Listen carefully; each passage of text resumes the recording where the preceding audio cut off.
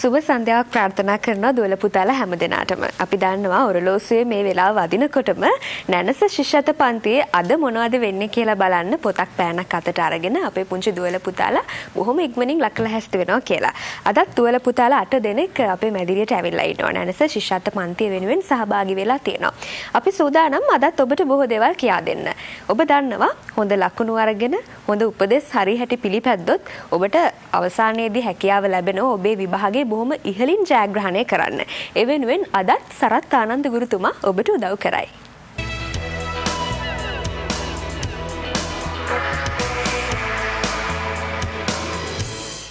ආයිබෝවන් දුවේ පුතේ ආයිබෝවන් සර්. හොඳයි. ශිෂ්‍යත්ව විභාගෙදී හොඳම ලකුණක් තමන්ගේ දරු පැටියට අරන් දෙන්න හැම අම්මා කෙනෙක්ම තාත්තා කෙනෙක්ම බලාපොරොත්තු වෙනවා. ඒ නිසාම සමහර අම්මල තාත්තලා දරුවන්ගේ විභාගයේ වෙනුවෙන් හරි දේවල් වගේම වැරදි දේවලුත් හුඟාවක් කරනවා. මේ වැඩිහිටියන්ගේ සමහර වැරදි උපදෙස් වැරදි තීරණ නිසා දරුවන්ගේ ශිෂ්‍යත්ව විභාග ප්‍රතිඵලය විතරක් නොවෙයි ඔවුන්ගේ ජීවිතයම අඳුරවන අවස්ථාත් ඇතැම් විට දකින්නට පුළුවන්.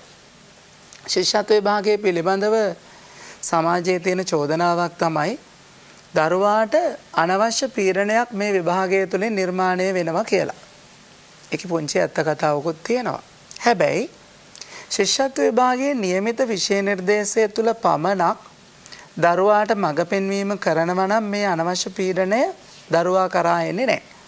උදාහරණයක් විදිහට අපි කිව්වොත් රෝම සංඛ්‍යා කියලා පාඩමක් තියෙනවනේ. නමුත් සමහර වැඩපත්තරවල වැඩ පොත්වල මේ රෝම සංඛ්‍යාවල 100 200 500 දහස 5000 වගේ සංඛ්‍යා ලියන්නත් පුංචි දරුවන්ට හුරු කරනවා. නමුත් ඇත්ත කතාව කියනවා නම් රෝම සංඛ්‍යා පාඩමේ 20 දක්වා විතරයි දරුවන්ට ඉගෙන ගන්න තියෙන්නේ. 20 දක්වා ඉගෙන ගන්න ඕනේ දේදී 100 200 500 දහස වගේ ඒවත් උගන්වනකොට පුංචි දරුවට මේක බරක් වෙනවා. තව උදාහරණයක් ගමුකෝ. ගණිතයේ පාඩමක් තියෙනවා සංඛ්‍යා අවබෝධය කියලා. උපරිම වශයෙන් සියක් දහස දක්වා විතරයි පස්වන ශ්‍රේණියේ දරුවා ඉගෙන ගන්නට ඕනි. නමුත් ඊටත් වඩා විශාල සංඛ්‍යා දරුවන්ට උගන්වන්න දෙමව්පිය උත්සාහ කරනවා. මෙන්න මේ අනවශ්‍ය බර දරුවාට ලබා නොදී નિયમિત විෂය නිර්දේශය තුල පමණක් ඔබේ දරුවව රඳවන්න කියන ඉල්ලීම අපි කරනවා නැනස තුලින්. විශේෂයෙන් මේ සඳහා ඔබ විශ්වාස තැබිය යුත්තේ ඔබේ දරුවා ඉගෙන ගන්න පාසලේ ගුරුතුමා ගුරුතුමිය. ඔබ ටියුෂන් පන්තියකට යවනවා නම් වැඩපත්තරයක් කරනවා නම් ඒවායින් ලැබෙන උපදෙස් වලට වඩා නිවැරදිම උපදෙස් ලැබෙන්නේ රජයේ පාසලේ ඔබේ පන්තිභාර ගුරුතුමා ගුරුතුමියගෙන් කියන එක හොඳට මතක තියාගන්නට ඕනේ. මේ අනවශ්‍ය දේවල් උගන්වන්න ගියොත් විභාගෙදී දරුවට මේක අනවශ්‍ය පීඩනයක් බවට පත් වෙනවා. මම තව උදාහරණයක් ගන්නම්කෝ. පරිසරයේ විෂය නිර්දේශයේ තියෙනවා ලංකාවේ උසම කන්ද දරුවා දැනගන්න ඕනේ. උසම කන්ද දරුවා දැනගන්න ඕනේ වුණාට මේ උසම කන්දේ උස ප්‍රමාණය මීටර් කොච්චරක්ද අඩි වලින් කොච්චරක්ද එහෙම දෙයක් ඇත්තේ නැහැ. ලංකාවේ දිගම ගඟ මහවැලි ගඟ බව දැනගන්න තිබුණට මේ මහවැලි ගඟේ දිග කිලෝමීටර් වලින් කොච්චරද කියලා දරුවා දැනගන්න අවශ්‍ය නැහැ. මෙන්න මේ අනවශ්‍ය මහා කරදරකාරී දේවල් දරුවාට පටවන්නේ නැතුව රජයේ පාසල් වලින් ලබලා දීලා තියෙන පෙළ පොත්වල කරුණු කාරණා විශේෂ සීමා හඳුනාගෙන ඒ අනුව කටයුතු කරනවා නම් දරුවට ශිෂ්‍යත්ව විභාගය අනවශ්‍ය පීඩනයක් බවට පත්වන්නේ නැහැ.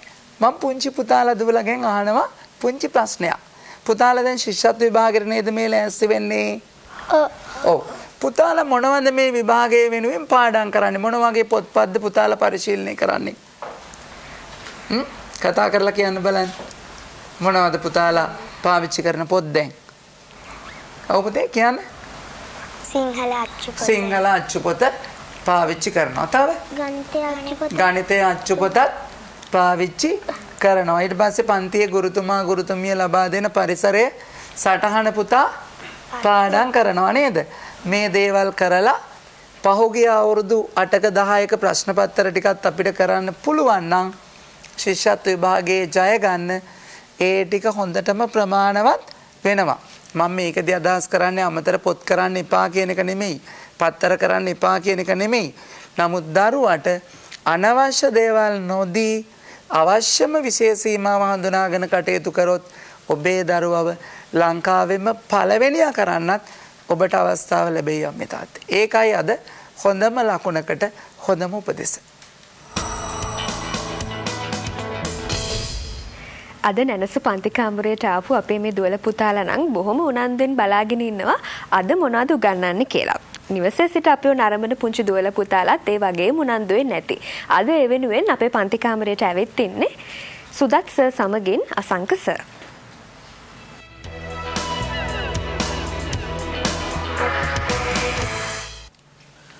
ආයිබන් දොය පුතේ ආයිබෝන් සර් හොඳයි වඩින්න හොඳයි දොය පුතේ අදත් අපි නර්ස පන්ති කාමරයට ආවා මේ දෂ්ටිකයෙන් අපි මේ කතා කරන්නේ විභවතාමාන පිළිබඳ දුවල පුතාලා දැනුවත් කිරීමක්. ඉතින් මම සුදස්සරුත් අදත් විභවතාමාන දෙකක් පිළිබඳ කතා කරන්න තමයි සුදස්සරාවේ අපි මුලින්ම දුවේ පුතේ කතා කරන්නේ මොකද්ද? සම්බන්ධතා දැකීමේ හැකියාව ලබා ගැනීම විභවතාව තමයි. ඔව් අසංකස. අපි මේ වෙනකොට දුවේ පුතේ අපි විභවතාමාන හතරක් ආදේශනීය අර්ථකථනයේ පෙරකීම පරිවර්තනය කියන විභවතාමාන හතර සාකච්ඡා කරලා අවසానයි. ඉතින් අද සූදානම් වෙනවා මේ සම්බන්ධතා දැකීම සහ ගැටලු විසඳීම කියන විභවතාමාන දෙකෙන් පුතාලා දුවලට කොහොමද ප්‍රශ්න ඉදිරිපත් වෙන්නේ කියලා ප්‍රශ්න කිපයක් සාකච්ඡා කරන්න. ඔව්. සුදස්ස දැන් අපි කෙලිම මේක අපි අභ්‍යාස වලට කියුතින්. මේ විභවතාමානයේ දුර පුතාලාට වඩාත් පැහැදිලි වෙන්න, පැහැදිලි කරගන්න දැන් බලන්න දුවේ පුතේ පාත සඳහන් පදවලින් හතරක් අතර කිසියම් සම්බන්ධතාවයක් ඇත. එවැනි සම්බන්ධතාවයක් නැති වචනය යටින් ඉරක් අඳින. දැන් සුදස්සර් අපිට මේ ප්‍රශ්න පත්‍රයක් දුවල පුතාලාට මේ දෙනකොට මේ වගේ එකක් ගොඩාක් දුරට මේ වගේ මේ ආකාරයේ ප්‍රශ්න බහුලව තියෙනවා. තියෙනවා. බලන්න පුතේ තියෙන වචන ටික කියවන්න බලන්න මේ ප්‍රශ්න පත්‍රේ මේ මේ ප්‍රශ්නේ කියන්නකෝ. කියන්න බලන්න. මයිනා කෝලා, ගිරවා, කපුටා, පක්ෂියා. පුතාලට පේනවා ඇති දැන් ඕකේ ඔය වචන උතන තියෙන වචන පහක් මේ පහෙන් නොගැලපෙන උතෙන්ට නොගැලපෙන වචනයක් ඇති. අපි බලමු අසංකස අහලා පුතාලට මොකද්ද දැනෙන්නේ මේ වචන පහෙන් නොගැලපෙනවා වගේ. මොකද්ද පුතේ මේ වචන පහෙන් නොගැලපෙන්නේ සාමාන්‍යයෙන් දුල අපි මේ පුතාගෙන් අහමුකෝ කියන්න පුතා ඔයාට දැනෙන්නේ කොයි වචනේද උතෙන්ට නොගැලපෙන නුසුදුසු එක. පක්ෂිය පක්ෂියා. ඇයි පුතා පක්ෂියා කියලා එකට නොගැලපෙනවයි කියලා තීරණයක් ගත්තේ ඇයි? දුවගේ උත්තරේ මොකද්ද? දුව කියන්නකෝ ඔයාගේ උත්තරේ. පක්ෂියා පක්ෂියා. එයත් පක්ෂියාලු. කාටද කාට දුල කවුරු දුලපද කියනවද? ඇයි මෙතන පක්ෂියා නොගැලපෙන්නේ කියලා? කවුද උත්තර දෙන්නේ? ද උත්තර දෙනවද අපිට? ඔව් අපි සරලව ගත්තොත් සුදස්සර් කුරුල්ලෝ නේද? මයිනා කවුලා ගිරවා කපුටා කියන්නේ ඔව්. මේ හතර දෙනාම පක්ෂි කියන වර්ගයටයි වැටෙන්නේ නේද පුතේ? ඒතර පක්ෂියා කියලා දීලා තියෙන්නේ අර හතර දෙනා අයත් වෙන වර්ගය. වර්ගය. ඒ හින්දා එතන වෙනස් වෙන්නේ මොකද්ද පුතේ? මොකද්ද වෙනස් වෙන පදේ? පක්ෂිය. දැන් බලන්නකෝ දුවේ පුතේ මේ දෙවෙනි එක කියවන බලන වචන ටික තියෙන කොළඹ ගාල්ල ජයවර්ධනපුර මාතලේ දැන් බලන්න මෙතන කොළඹ ගාල්ල ජයවර්ධනපුර මාතලේ මෙතන මොකද්ද සදස්සර අපේ දාදුල පුතාලගේ යහුවතින් දුව කියන්න බලන්න මෙතන මොකද්ද බලමු. ජයවර්ධනපුර ජයවර්ධනපුර. අපේ පුතේ තව පුතේකින් අපි අහලා බලමු පුතා ඉස්සරහින්. කියන්නේ මොකද්ද පුතේගෙන්. අපේ ජයවර්ධනපුර ජයවර්ධනපුර දැන් අපි හේතුව අහනවා. ඇයි දුව ජයවර්ධනපුර කියලා මේක නුසුදුසුයි කියලා එතෙන්ට නොගැලපෙනවයි කියලා දුව කියන්නේ ඇයි? අපිට කියන්නකො හේතුව. දුවගේ පිළිතුර නිවැරදිද කියලා අපිට බලන්න පුළුවනි. තවත් දුවේ කරේ පුතෙක් කරේ කවුරු අපි අහලා බලමු. ඔව් සදස්සර අපේ මේ කිව්වතින්. කොළඹ ගාල්ල මාතලේ කියන්නේ මොනවද ඒවා පුතේ? මොනද පුතේ ජයවර්ධනපුරට අයිති ඒවා ආ තා පොඩ්ඩක්. ඔව්. අපි සරලව ගත්තොත් කොළඹ ගාල්ල මාතලේ කියන්නේ දිස්ත්‍රික්ක. දිස්ත්‍රික්ක. ඒක ජයවර්ධනපුර කියන පුතේ දිස්ත්‍රික්කයක් නෙවෙයි. නෙවෙයි. එතන මොකද්ද මෙතන නොගැලපෙන වචනේ? ජයවර්ධනපුර. දැන් බලන්න පුතේ මේ තුන්වෙනි එක ඉදල ඉලපත බුරුසුව සැරයටිය. මොකද්ද පුතේ සැරයටිය කියන්නේ? සැරයටිය කියන්නේ මොකද්ද? අනිත් වචන ටික. දුර දන්නවා. ඉදල දන්නව නේද? ඔව් මොකටද ඕන වෙන්නේ? ඉලපත අතු ගන්න. හරි. බුරුසුව ආ දත් මදින්න. සැරයටිය. තව වචනයක්? සැරයටිය අපිට වයසට යනකොට ඕන වෙනවා. අපි ආච්චිලා සියලා පාවිච්චි කරනවා. හැරමිට හැරමිටිය. හැරමිටිය තමයි. හරි. දැන් බලන්න පුතේ මේකෙන් මොකද්ද නොගැලපෙන වචනේ? ඈ? සැරයටිය. ඇයි සැරයටිය නොගැලපෙන්නේ? අනිත් පිළිතුරු හතර පුතේ මොනවටද අපි උදව් කරගන්නේ? යම් දෙයක් පිරිසිදු කරගන්න. පිරිසිදු කරගන්න. පිරිසිදු කරගන්නනේ. ඉදලෙන් අපි මිදුල පිරිසිදු කරනවා, ගේ යතු ගා ගන්නවා, ඉලපතේ නේද? බුරුසුවෙන් දත් ටික පිරිසිදු කරගන්නවා. සැරයටිය ගන්න අපිට ආධාරකයක් හැටියට නේද? ඔව්. බලමු සුදස්සර අපි ඊළඟ ගැටලුවල ගියතින් ඔන්න බලන්න පොතේ පාද දැක්වෙන සිද්ධි සමග ගැළපී හැකි ප්‍රස්තාව පිළිවෙල තෝරා යටින් ඉරක් අඳින්න. කියවන බලන්න සිද්ධිය. පැන්සලක් නොතිබුණු මගේ මිතුරා වන සඳුරට මගේ පැන්සල දෙකට කපා කෑල්ලක් දුනිමි. ඔයාලත් එහෙම කරනවද යාළුවන්ට උදව් කරනවද පන්තියේදී? ඈ? හොඳ දුවලා පුතාලා නේද? හරි. බලන්න පළවෙනි උත්තරේ මොකද්ද? අනුන්ගේ පානෙන් එළිය බැලීම. මොකද්ද දුවේ පුතේ අනුන්ගේ පානෙන් එළිය බලනවා කියන්නේ? සුදස්සර අපේ කියන පුදුම විස්තර කරති. මොකද්ද පුතේ අනුන්ගේ පහනින් එළිය බලන කරේ අපි යම් කිසි කෙනෙක්ගේ දෙයක් උදව් උපකාර කරගෙන අපි ඒකෙන් ලාභ ප්‍රයෝජන ගන්න හදනව නේද? ඒක අපිට අවශ්‍යයි. අපි නමුත් අපි ළඟ ළඟට ගන්නේ නැහැ. අපි වෙන කෙනෙක්ගේ දෙයකින් ඒ සඳහා අවශ්‍ය උදව් උපකාර ඒ දෙයින් ඒ අනුන්ගේ දෙයින් ලබා ගන්නවා. ඊට පස්සේ බලන්න දෙවෙනි එක තියෙන මොකද්ද? අටුව කඩා පුටුව සෑදීම. අපි සරල තේරුමක් ගත්තොත් මොකද්ද පුතේ මේකේ? ලොකු ලාභයක් විනාශ කර ඔව්. ඔව් කුඩා දෙයක් සෑදීම නැත්නම් කුඩා දෙයක් සඳහා ඒ දේ කිරීම. දෙයක් දැන් අටුව කියන එක ගොඩාක් ප්‍රයෝජනවත් නේද? ඒක විනාශ කරලා ඊට වඩා අඩු ප්‍රයෝජනවත් දෙයක් ඒකෙන් සකස් කර ගන්නවා කියන එක තමයි අර්ථය. ඔය සරල අර්ථය. ඊට පස්සේ බලන්න හිත ඇත්නම් පත කුඩාද? ඒ කියන්නේ අපිට උමනාවක් උනන්දුවක් ඕනෑකමක් තියෙනවා නම් කරන්න නොහැකි කියලා දෙයක් නෑ කියන එක තමයි. දැන්. මෙතන බලන්න මොකද්ද පුතේ මේ මේ පිළිතුර අනුව පැන්සලක් නෑ මගේ යාළුවට පැන්සල ඔව් කපා කෑල්ලක් දෙන්න. දෙනවා. එකද දෙකද තුනද? ඔව් සුදාලා සුදාලා හිතන්නේ කොයි පිළිතුරද නිවැරදි කියන කියන්නකෝ. කියන එකද? තුන්වෙනි එක. අපි ඊළඟට යමු බලන්න. පුද්ගලයා හා වඩා සම්බන්ධතාව ඇති ස්ථානය යා කරන පුද්ගලයා තියෙනවා එක පැත්තක අනිත් පැත්තේ තියෙන සුදස්සර මොකද්ද? ස්ථානය. ස්ථාන ටික තියෙනවා. මට තියෙන මේ දුල පුතාලට මේ පුද්ගලයා ටික කියවනකොට ඉස්- පුද්ගලෝ දෙන්නෙක් වගේ පොඩි ගැටලුවක් ඇති. අපි අහලා බලමු. ඔව්. පදිකයා. කවුද පුතේ පදිකයා කියන්නේ? පාරේ ගමන කරා. කරන කෙනා. පදික වේදිකාවක් එහෙම තියෙනව නේද පාර දෙපැත්තේ අපිට යන්න. හරි. අය කැමියා. අය කැමියා. පැහැදිලි අය කරමු කැමේ මොනවද සංස අපි. ඔව්. අය කැමේ කියන්නේ පුතා අය කැමේ ඉන්නේ කොහෙද?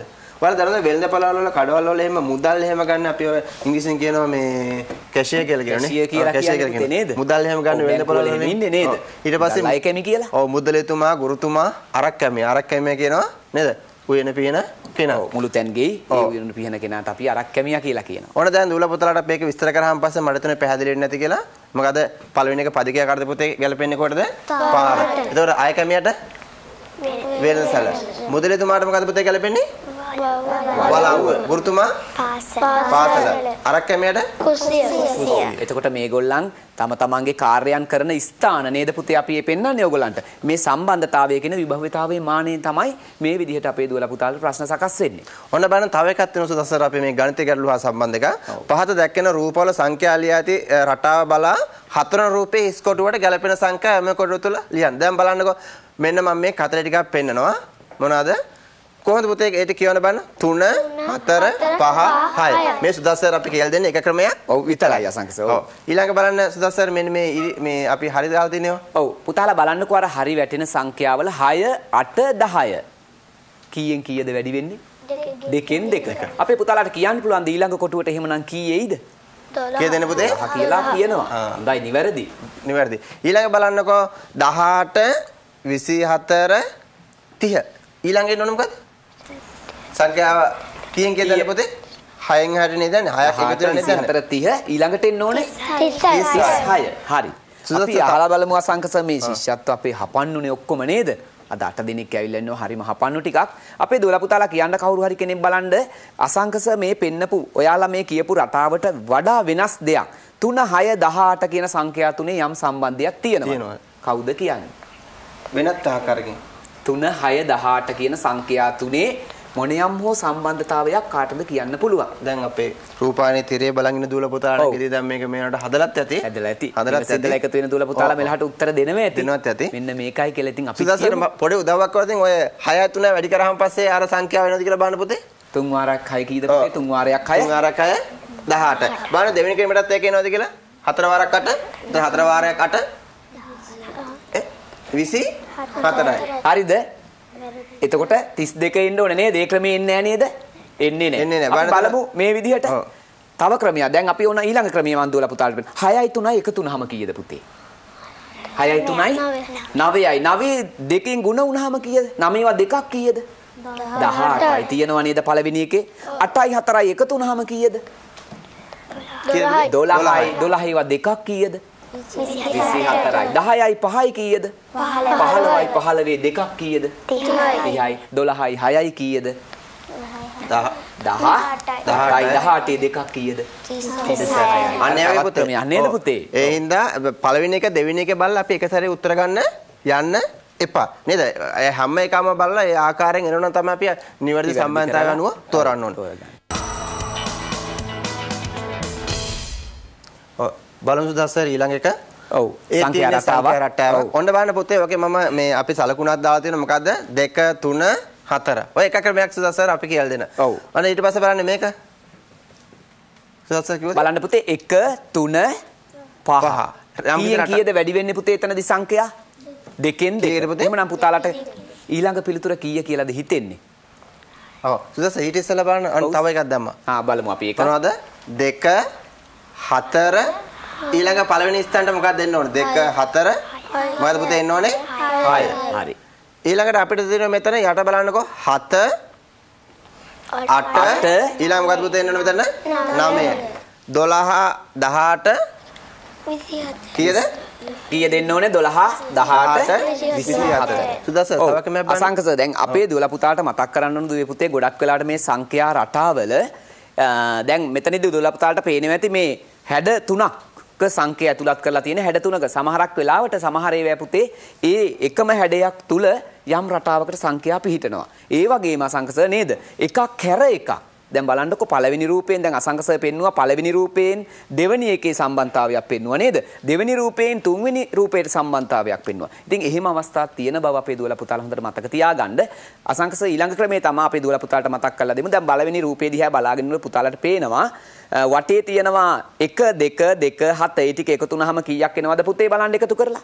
7යි 2යි 9යි 9යි 2යි 11යි 1යි 12. ඒ සංඛ්‍යා හතර එකතුව නේද අර මැද කොටුවේ තියෙන්නේ. බලන්න දෙවෙනි එකත් ඒ ආකාරයෙන් එනවද කියලා? අනිකත් ඒ විදිහට දෙනවද බලන්න. 3යි 4යි 7යි 3යි 10යි 10යි 8යි 18 8යි හරි නේද එහෙනම්. අනිකත් ඒ විදිහයිද බලමු. 6යි 4යි 6යි 4යි 10යි 10යි 5යි 15යි 9යි 27 බලන්න ඒකට ඒ රූපයේ තුලමයි අපි ඒ සම්බන්ධතාවය පුතාලට පෙන්වුවේ. ඔන්න ඊළඟ දුවේ පුතේ. මොකද්ද මේ තියෙන්නේ? පහත දැක්කන එක් එක් දේ සමග අ, නොපෙන්වන පද යටින් ඉරක් අඳින්න. ඔන්න තියෙනවා අවුරුදු උත්සවේ. ඔව් සම්බන්ධතාවයක් තියෙන ඒවා වගේම අසංකස සම්බන්ධතාවයක් නැති දේත් අපේ දුවලා පුතාලාගේ ප්‍රශ්න වලට ඉදිරිපත් වෙනවා ඒකත් මතක අපි තියාගන්න. ඉක්මනට මේ කතා කරලා තියෙන මේක. මොකද්ද පුතේ? නෑගන් යාම වැඩ ඇල්ලීම සිල් ගැනීම. මෙතන මොකද්ද පුතේ මේ නොපෙන්වන දේ නැත්නම් මේ- ස්ථානයේ සිදු නොවන දේ. සිල් ගැනීම. මොකද්ද පුතේ? සිල් ගැනීම. හොඳයි. දෙවෙනි එක බලන්නකෝ.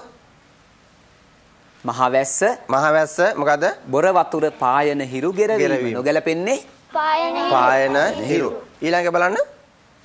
මංගල උත්සවයකදී දැකිය නොහැකි දේ මොකද්ද පුතේ? විනෝදය, සිනාසීම, හඬා වැළපීම. මොකද්ද පුතේ මෙතන? සහ ආ බොහෝ. දුරට. හැබැයි ඉතින් මෙහෙමත් වෙනවා නේද සංකස? දැන්. අපි දන්නවා මනමාල මහත්මිය නේද නිවසින් පිටත් වෙනකොට අම්මා තාත්තට වඳින වෙලාවේදී හඬා වැළපෙන අවස්ථාවක් නැතුවාම නෙමෙයි නේද? ඔව්. නමුත් මෙතනදී ඒ දේ නෙමෙයි අදාළ නොවෙන්නේ. එතකොට සම්බන්ධ නොවෙන්නේ. හරි ඊළඟ එකක් බලමු. ඔව් ඊළඟ දවසේ අපි ඊළඟ- විභව්‍යතාමානයක් දුවේ පුතේ ඔයාලා හරි ආසයි ගැටලු විසඳීම අපි දැන් සාකච්ඡා කරනවා අපේ දුවලා පුතාලාට මේ ගැටලු විසඳීමට ඉදිරිපත් ප්‍රශ්න කීපයක්. අපිට උනත් දැන් ගැටලුවක් විසඳන්න පුළුවන් අපි ලබාගත් අත්දැකීම් ඉගෙනීම් දැනුම සහ අත්දැකීම් පදනම් කරගෙන තමයි. ඉතින් දුවලා පුතලාට මේ වගේ අභ්‍යාස වැඩිපුර කරන්න කරන්න තමයි පුතේ මේ ගැටලු විසඳීමේ හැකියාව ඒ හැකියාව ලබා ගන්න පුළුවන්. බන්දුවේ පුතේ ඔන්න ප්‍රශ්නයක් දාලා දෙනවා. කියවන බන්නේ ප්‍රශ්නේ? මගේ වයස අවුරුදු 12කි. නංගිගේ වයස මට වඩා අවුරුදු දෙකකින් බාලයි. අයියා නංගීට වඩා අවුරුදු 8ක් වැඩි මහල්ලේ. අයියාගේ වයස කීයද? කාටද ඔය ඉක්මනට මනෝමයෙන් කියන්න පුළුවන්? මිනිත්තු දෙක තුනක් දුන්නු ඉතින්. ඔන්න මම තව උදව්වක් කරනවා. උදව් කරමු අපි අසංකස බලන්න. මගේ වයස අවුරුදු 12යි කියලා කියනවා. එහෙම කියලා කියන මොකද්ද? නංගී මට වඩා අවුරුදු දෙකක් බාලයි. එහෙනම් නංගීගේ වයස කීයද? කීයද පුතේ? 10යි. කීයද? 10යි. 10යි. ඔය දුල පොතලා අපිත් එක්ක කයින් කතා කරද්දී කීයද පුතේ? 10යි. 10යි. ඊට පස්සේ අපිට කියනවා මොකක්ද සුදස්සා කියන්නේ? අයියාගේ වයස කීය? ඔව් අයියා නංගීට වඩා අවුරුදු කීයක් වැඩිමල් කියලා කියනවද? 8ක්. කීයක් වැඩිමල්ද? අටක්. 8ක්. එහෙනම් නංගීගේ වයස කීයද පුතේ අවුරුදු? 10යි 10 එහෙනම් අයියට කීයද?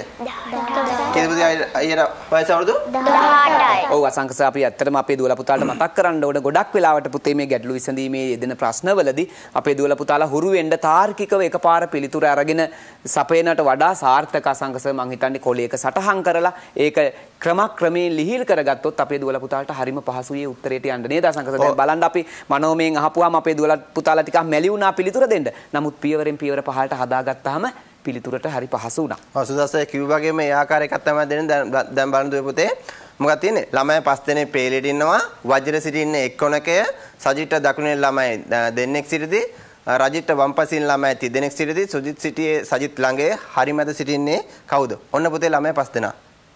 ඈ? දැන් සුදස්සර් මේක හොඳට කියවුවතින්. අපෙන් ආන්නේ හරිමැද? දැන් පස් දෙනෙක් ඉන්න තැන හරිමැද නේද? ඔව් මහා විස්තරයක් දුන්නට පුතේ ඕකේ බොහෝ පුංචි තැනක හැංගිලා තියෙනවා නිවැරදි පිළිතුර ගන්න සරලම තැන. කාර්ද ඔක හොඳට කිව්වොත් මෙතනින් එක සැරේටම අල්ල ගන්න පුළුවන් කියලා කියන්න පුළුවන් මේක තමයි උත්තරය අපිට ගන්න පුළුවන් සජිත්ට දකුණෙන් ළමයි දෙදෙනෙක් සිටිති. පස් දෙනෙක් ඉන්න තැන දකුණු පැත්තෙන් හෝ වම් පැත්තෙන් දෙන්නෙක් ඉන්නවා කිව්වහම පස්සේ දුවේ පුතේ මොකද්ද එතන තේරෙන්නේ? කවුද එහෙනම් හරි මැද ඉන්න හරි කෙනා? මැද ඉන්න කෙනා. අපි බලමු දුල පදාට පිළිතුර දෙමු අපි. ඔන්න සජිත්ට මොකද්ද දකුණෙන් දෙන්නෙක් ඉන්නව නේද පුතේ? ඉන්නවා. අපි තාඩයක් ඉස්සරහට ගියොත් මේකේ තව කියනවා මොකද්ද? අ, මොන පැත්තෙන්ද? වම් පසෙන් තිදෙනෙක් ඉන්නව ඉන්න නේද? තුන් දෙනෙක් ඉන්නවා ඉන්නේ. ඊට පස්සේ තියෙනවා මුලින්ම අපිට කියදෙන වජ්‍ර සිටින්නේ එක්කොනක. ඒතර එක්කොනක වුණාන් පස්සේ ආ ආරම්භක තැන ඉන්න පුළුවන්. අවසාන තැන ඉන්න පුළුවනි. අපිට ඕන මේ සර් මෙතන මොකද්ද හොයාගන්න ඕනේ? මැද මැද ඉන්නේ කවුද කියලා. ඔන්න බලන්න ඊට පස්සේ තව එකක් හේතු සුජිත් තියෙන්නේ සජිත් ළඟලු. ඔන්න ඊට අපි කොනට දැම්මා වජිර. එහෙනම් පොතේ මෙතන සරලව අපිට කියන්න පුළුවන් අපි මෙච්චර දුර යන්න ඕනේ නැහැ. මොකද්ද අතන? හරි මැද. හරි මැද ඉන්නේ කවුද? කවුද ඉන්නේ? සජිත් කොහොමද ගත්තේ අර අපේ සුදාසර් කිව්වා වගේ? ඔව් අර මැද කොටසේ තියෙන්නේ පුතේ නේද? සජිත්ට දකුණෙන් ළමයි දෙදෙනෙක් සිටිති කිව්වහම එහෙමනම් කොයි පැත්තෙන් බැලුවත් දෙන්න නේද? පස් දෙනා අතරේ හරි මැදට ගන්න එතකොට සජිත් තමයි නිවැරදි පිළිතුර වෙන්නේ. එහෙනම් සුදාසර් දුල පුතාලට මේ වගේ තව තව අභ්‍යාස කරොතින් පුළුවන් මේ ගැටලු විසඳීමේ හැකියාව තවත් වර්ධනය කරගන්න. කරගෙන මහා ලොකු ලකුණකට අපේ දුවලා පුතාලට යන්න පුළුවන්කම තිබෙනවා. ඒ නිසා අපි ප්‍රාර්ථනා කරනවා හැම දිනාටම ඒ විශිෂ්ට ජය ඔබේ බලාපොරොත්තු ඉෂ්ට වෙන්න කියලා. එහෙමනම් අදට අපි. සනනස පන්තියෙන් සමුගන්න. අදත් ඔබ දැනුම දියුණු කරගන්න බොහොම වැදගත් වටිනා විෂය එකක කොටස් කිහිපයක් පිළිබඳවම නැනස ශිෂ්‍යත්ව පන්ති කාමරයේදී සාකච්ඡාවට ලක් කෙරුණා. www.itn.lk අපේ වෙබ් අඩවිය හරහා පුංචි දුවේ පුතේ ඔබට පුළුවන් මේ පාඩම් මේකක නැවත අලුත් කරගන්න. එහෙමනම් ලබන සතියේත් අපි පුරුදු වෙලාවට මුණ ගැහෙන පොරොන්දුවත් එක්ක අදට සමුගන්නවා. ප්‍රාර්ථනා කරන ඔබ හැම දිනාටම යහපත් වූ අනාගතයක්. අයබෝවන්